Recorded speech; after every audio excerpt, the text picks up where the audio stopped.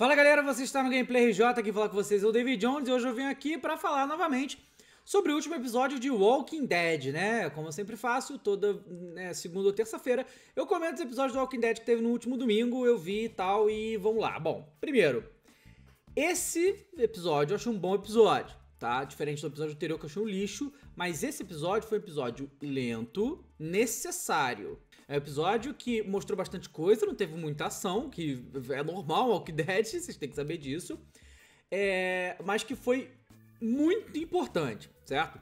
Então, o que aconteceu exatamente? Tiveram algumas coisas desse, desse episódio que foram um pouco descartáveis, na minha opinião, né? É como aquele negócio do Spencer ter achado umas comidas, não sei por que eles perderam tempo nisso. Esse, esse Spencer é um personagem. É um personagem ridículo, ridículo. Já tá na hora de tomar a surra ou morrer.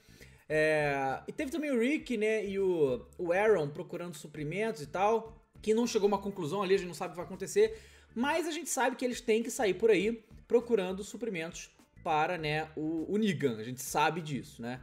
E aí teve também toda aquela cruzada da Michonne que a gente não sabe o que vai A gente só sabe que vai dar merda, certo? Esse episódio, a build dele inteira foi construída pra vai dar merda, né? O Negan pegou o Carl, a Rosita tá com a arma, quer, quer, matar o, o Negan, a Michonne tá indo atrás do Negan. Ou seja, vai dar merda já, sabe? Vai dar merda já. E aí a gente vê, né, o, o negócio que foi que foi o Jesus e o Carl querendo, né, ir pro encontrar o Negan. E o Carl enganou o Jesus, né, é, dizendo que ia com ele ali para ver onde é que era e tal, eu não sabia que o Carl queria matar o Negan, né? E aí o Jesus sai do caminhão e tal, mas o Jesus completou a missão dele, ele descobriu onde os caras estão, descobriu o Negan mora, isso é muito importante. Jesus fez o papel dele. E aí o Carl, eu realmente, assim, vocês sabem como eu me sinto em relação a esse personagem. Pra mim é um idiota, é um imbecil, tá ligado? só faz merda, né? É, e aí foi exatamente isso. Foi, cara, eu fiquei imaginando, ele vai estar naquele caminhão, aí eu vou imaginar, não, o caminhão chega, o caminhão cheio de coisas, eles vão tirar as coisas do caminhão. E aí, o Carl vai estar ali. E aí? O que vai acontecer? É, exatamente isso. O, o Carl foi tão incompetente que ele matou dois caras só do Negan. Se ele tivesse matado geral, pelo menos, né? Que ele matou um cara, tava com fuzil, eu vou matar, não. Só o Negan precisa morrer. Aí quando o Negan aparece, em vez dele sair largando a bala, que ele falou que era isso que ele ia fazer, não, ficou que nem um viadinho ali parado olhando. Aí quando tentaram tirar a arma dele, ele matou um e o outro pegou, acabou, acabou o Carl. Sério. Que merda. Mas, né, a gente tem o Negan na série agora, né? O Jeff Dean Morgan.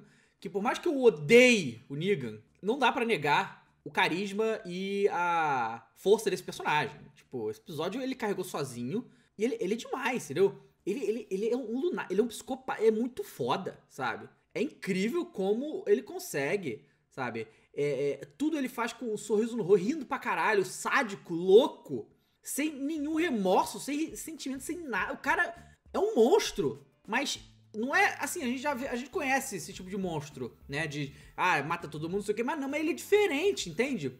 Porque ele passa por boa parte do tempo fingindo que esse cara é engraçado, zoeiro, não sei o que, e é legal porque todo mundo que mora lá sabe como ele é de verdade. Mas quem não conhece tão, tanto que. A gente, que a gente acabou de conhecer o Negan, né? a gente não, não, não, tem tanta ideia, porque parece que ele tá na boa, de repente ele vira. Nem tá falando com o Carl, né? Tá falando tranquilo, sorridente, não sei o que, de repente ele fecha a cara e fala assim: matou todos os meus caras, acha que vou deixar isso passar? O que, que eu vou fazer com você, né?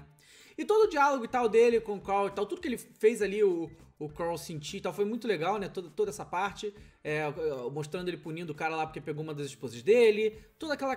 Tudo ali, né? E a gente vê o Daryl Dwight de novo, né? Aquela coisa, né? O Daryl, Daryl é muito bravo. Se você. Ele, cara, o Darren, na situação que ele tá, ele ainda vai me ameaçar o Niga, tá ligado? você mexer, se você fizer alguma coisa com ele, mano. Dou um tiro no Darren aqui. Mas a gente viu, né, que realmente o Negan, quando ele fala pro Carl, né? O Negan quer fazer o Darren um soldado, né? E ele sabe que vai ser bom. E aí o, o Carl, muito burro, né? Porque além de tudo, ele ainda, ainda tá atiçando o Negan. Porque ele foi falar pro Negan que ele devia ter matado todos eles porque ele não sabe, ele não sabe o que ele tá mexendo. E ele não sabe, realmente. Mas o Negan não precisa saber disso, né? Não precisa. Porque se o Negan soubesse realmente quem, quem é essa gente que ele atacou, ele não tinha deixado a Michonne com a espada, por exemplo. Sabe que aquela espada na mão da Michonne é muito mais perigosa do que um fuzil. Mas ele deixou, não deixou? Então é bom que o Negan não saiba com quem ele tá se metendo. Que quando eles forem atacados, eles não têm ideia do que aconteceu. E aí, né, o Negan fica brincando com o Carl, né? Fazendo o que quer com ele e vai lá pra Alexandria. E o Rick não tá lá. Obviamente ele queria humilhar o Rick mais uma vez, mostrando que o filho dele foi lá, né? E deixar o Rick na merda e ver a situação. Ele já mostrou que ele é um sádico, ele gosta disso, né? O motivo que ele não matou todo mundo ali é porque ele gosta de torturar as pessoas, ele gosta disso. E aí teve a questão de que o Niga achou a Judith, né? Porque ele não, não sabia que existia até o momento. Mas aí não, não tem muito o que fazer em relação a. O Carl não tinha muito o que fazer em relação a isso, né? Porque o Nigga foi olhando tudo, foi achando. A cena dele com a Olivia é muito irada, tá ligado? É muito irada. Tipo assim, ele chega lá. Porque para, ele, tem, ele tem um nível de, de. Ele tem a linha. Parece que ele não gosta de agredir mulher, né? Aparentemente é isso. E ele também não estupra elas. Se a mulher quiser dar pra ele, tem que ser consentido. Mas é aquele consentimento baseado no medo, mais ou menos, que, que é o que acontece com aquelas esposas dele lá. É mais ou menos isso, mas, mas é consentido. E quando chegou da Olivia. Quando ela deu tapa na cara dele, eu falei, caralho, vai matar ela. Ele falou, tô 50% mais atraído por você. Do caralho. Ela começou a chorar, ele, não, não queria ferir seus sentimentos e tal. Tipo, viu como é que o cara é louco, né? Porque uns episódios atrás, ele ia matar a Olivia porque é, ela teria esquecido de escrever uma, uma arma no, no, no, manifesto, tá ligado? Tipo, ia matar ela assim por nada. E aí chega no outro dia falou que quer pegar ela. Uma parada doida, bizarro. E incrível. Fenomenal. Fenomenal. E aí, assim, não teve. Foi, foi muito mais isso, dessa coisa do Negan com o Carl e tal. É, e óbvio que isso vai gerar coisas muito interessantes. Talvez gere o ódio que o Rick precisa para juntar um bonde e atacar o Negan. Vamos ver o que vai acontecer. Que foi exatamente quando o Eugene falou pra Rosita, né? Que essa foi outra parte do episódio também. Que o Eugene não queria fazer a bala e a Rosita tá maluca, não sei o que. Eu falei, cara, você tá louca? Você vai matar ele e as consequências disso. A gente vai. E se você errar, uma bala só, as consequências, não tá pensando isso aqui. E ele tem toda a razão. Ele fala, eu já pensei em todos os cenários. O jeito que ele vai conseguir é se a gente for de uma vez e conseguir derrubar muita gente de uma vez. Esse é o maneiro. O Eudine está certo. Só que a Rosita tá doida. Ela não tá pensando direito, tá ligado? Não tá pensando direito. E também teve a fase do negócio do Spence com o padre Gabriel, né? E o Spence culpando o Rick por tudo. Spence é um lixo. Spence é um lixo. Se não fosse o Rick, tá todo mundo morto ali. Ele salvou todo mundo ali de novo. Eles viviam no mundo da imaginação em Alexandria, achando que o mundo era lindo.